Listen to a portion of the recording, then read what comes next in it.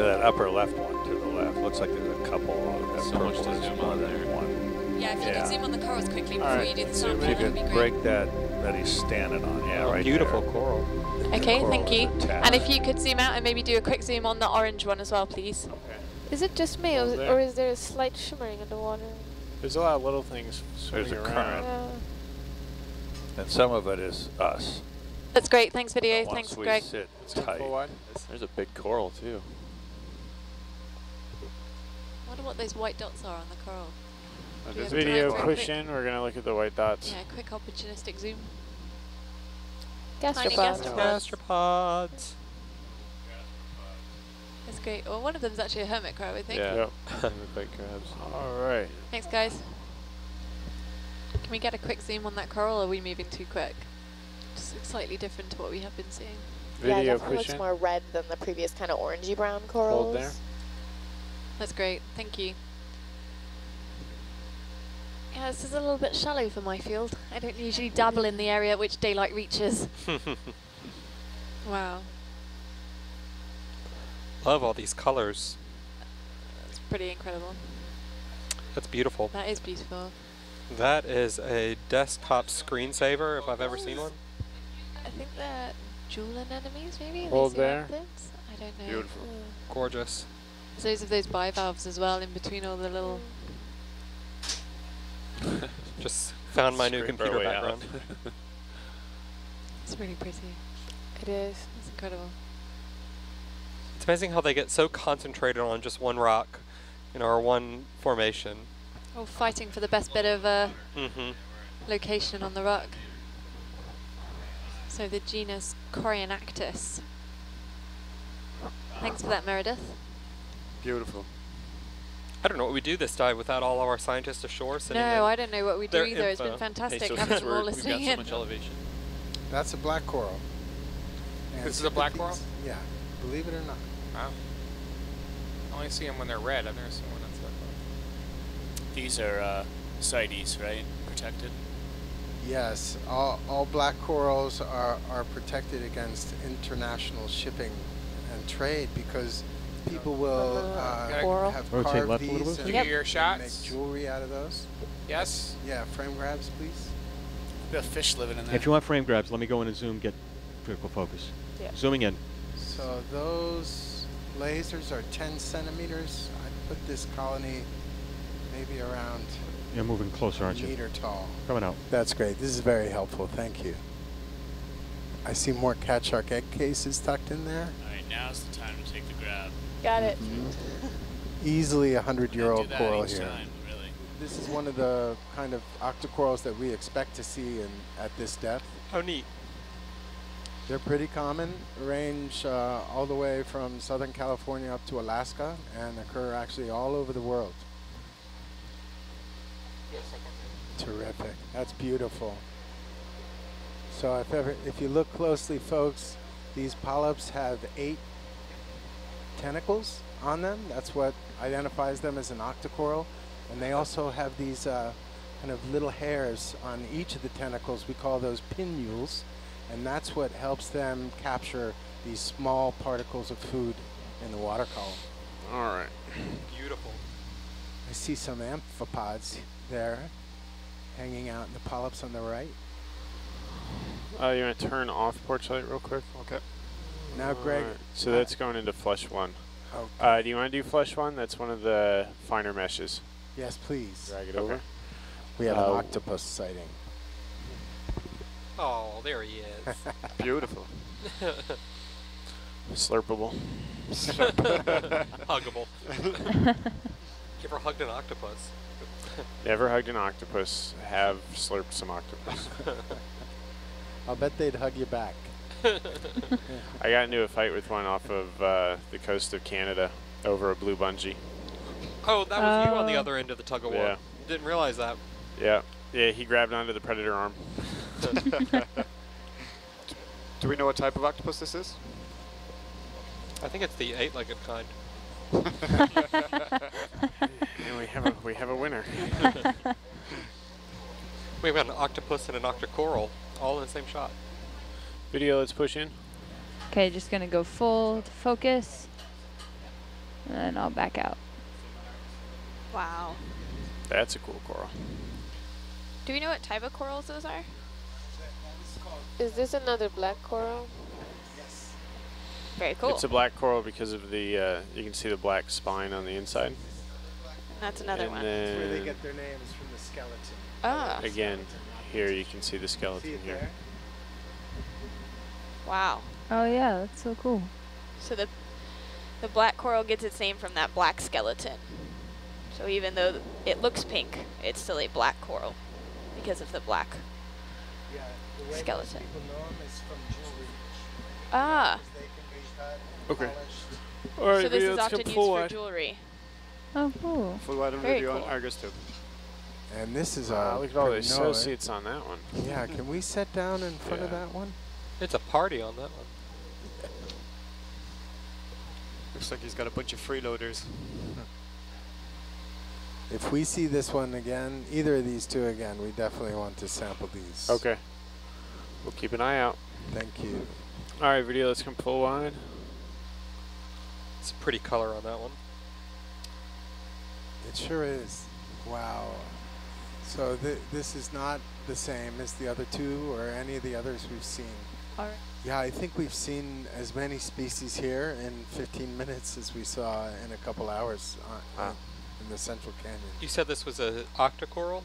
Yeah, this is definitely an octocoral. You can see each of the polyps here has eight little tentacles. It's feeding. Yeah. And if this is what I think it is. It would have a very hard calcitic skeleton, kind of like those uh, bamboo corals. And these are the precious corals that I was telling you Right. um, they made jewelry out of uh, Hmm. back in the day. Hey Lee, would you mind looking at high pack real You quick? want to zoom in on Yeah, that? Yeah, of course. Zoom Um, out. on Go this ahead and ridge zoom in. here. Why don't we just this make right here. Yeah, yeah. Why don't we just make our way up that? Okay. Oh, that's beautiful that shot. Oh, can you see that stalked anemone in the top right hand corner? We actually got a sample of that the other day. we? Yeah, I think we had one of those. Coming out. That's great. Thanks, guys. And generally, Michael, if we uh, sit down to uh, image something, we're facing up current. It's uh, helpful, more helpful. Okay. That's full zoom in focus. Let me change my levels a little. So you can see why the uh, brittle star that's associated with it is called the snake star, or snake brittle star. I didn't know way- anemones associated with it. Go, go ahead. Roger, coming. I got this little joystick here, and it's begging to be used. It almost looks like a, it's a basket star on there. It looks like one. No, this is one of those a uh, snake snake ophiuroids. Oh, we got a little whelk. Is it a whelk or a gastropod? Oh. That's a gastropod. Just Yeah, gastropods. just a little. It's gonna be a Oh, he's run. doing the flip. What? It, wow. What is Oh, that? so that's how those gastropods move then. Yep. the more you Leave know. yeah. That's great. See, I always get nervous and I'm get scuba when diving. you guys are ready. Oh, Hmm. Coming in. Go ahead and zoom. So can you see what I mean about the anemones? So it's those three anemones that have Wow, they stripped. are. Oh, okay. Yeah, I've stripped the polyps off. Lee, you're so smart. no, I just looked at a lot of deep sea footage over the past year. My little bivalve open in So the back there. The the way we should know this is a bamboo coral is you can just see, just down from the top center, can you see there's a little brown mark on the stalk? It's actually a different type of organic node, so they'll be formed all the way up the Yeah. coral. And there was one there, and there'll probably There's likely one. be one at the base as well. We can see them here, the banding. Can you see the vans? Yeah. Just out of focus. But not on that guy, though. And that's a primnoid there in the back.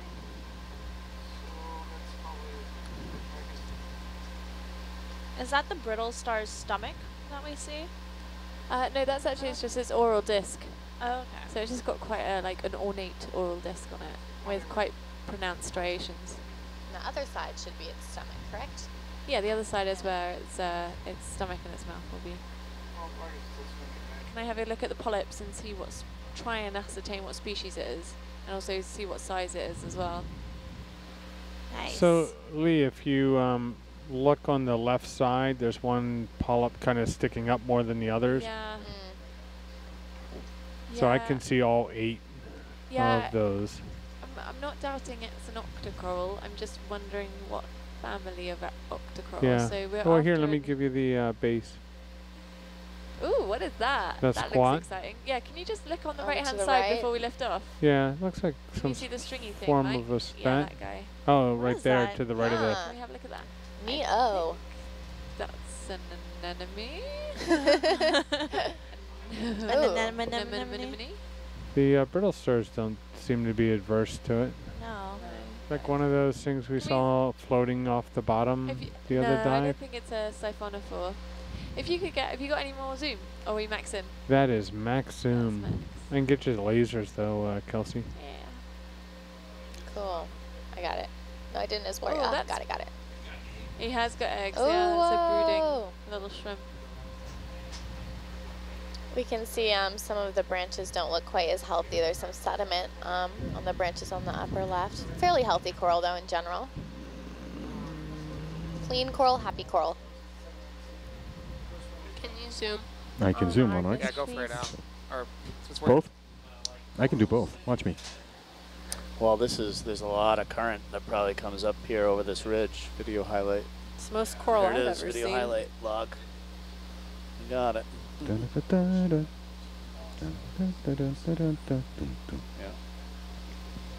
Ooh, Octopus, friend, octopus friend. And a grenadier in the back. What is it? A oh, huge grenadier.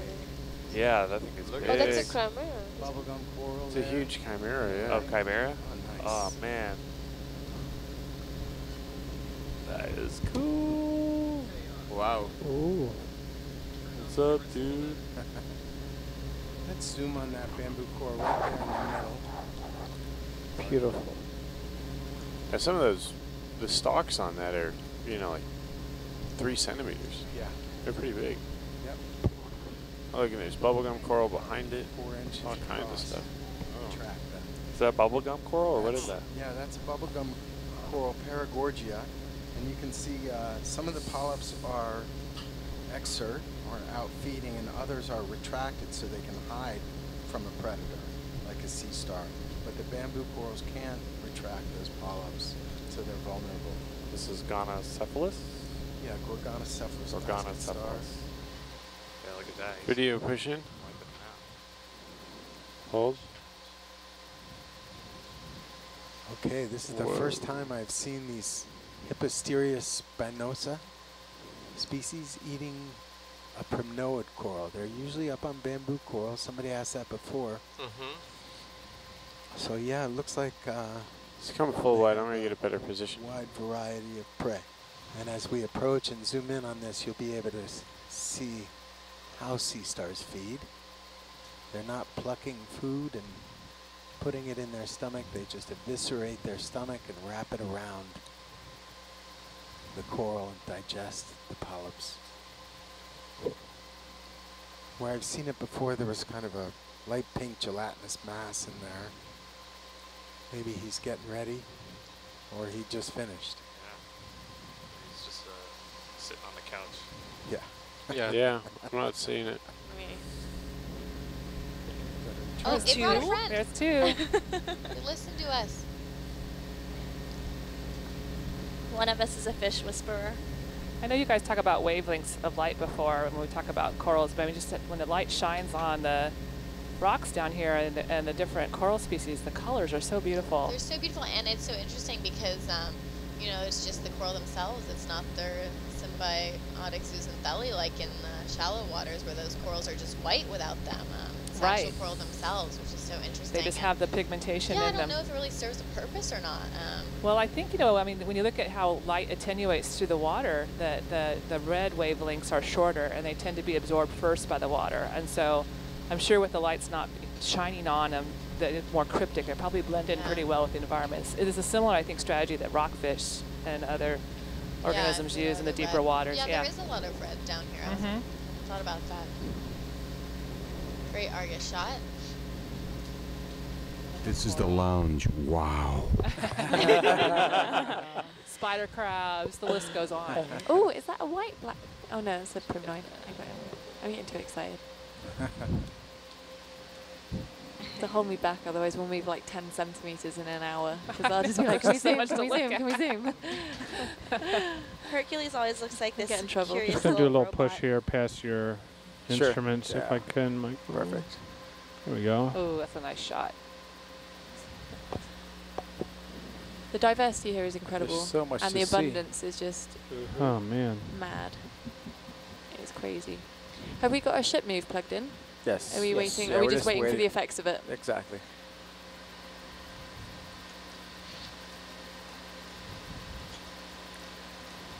Okay.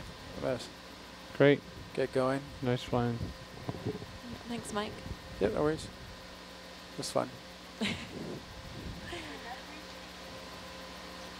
Go ahead, Bridge. I think you have the best job, Mike. I'm kind of jealous. Thank you. It looks happy. Yeah, it looks very similar. Certainly healthy. Yeah, that's the same Yeah, shot. This looks exactly the same. Same so shot, yeah. Get a few of these, right? Yep. Yep, I'll just keep taking screen grabs. So these frame grab images help us nice to tight track the health and condition of this great. uh, That's. Lophelia coral aggregation. This Well done. this is Like growing in an extremely acidic environment Better than her dad. compared to where it is And I'm sorry I'm bouncy, but I have a really funky current to my back. Oh wow, so many Eugorgias. Yeah, So you you know, Ian, I'm looking at this. I'm thinking this is actually maybe a good photo mosaic target. Yeah. I like the color. Me too. And Are the fish gonna be a problem? Oh, certainly. Just tell him to stand still. you like a challenge? Stop swimming for a minute. around, kind of swatting While we image you. That What were the orange ones? The be? orange ones are Adelo Gorgia, like the singer Adele. Adelo Gorgia. White Anagus? And then the uh, purple ones are Eugorgia. Gorgia. EU Gorgia. Hello from the coral side. Oh. I Rolling in the deep. Okay, there we go. There we go. Beautiful shot video. Can see all these polyps out, straining food from the water column. Let's hold that. Wow. That was gorgeous. You gorgeous. You gorgeous. Oh. Ah, I like it. oh, You always learn new things in, bu- on the Nautilus. that sounds like a deep sea Valentine's Day card. Yeah. What a charmer. Deep, deep, deep sea pickup lines. Well, I- I'm not getting a whole lot of interest from our uh, geologists, so I'm feeling that we should return.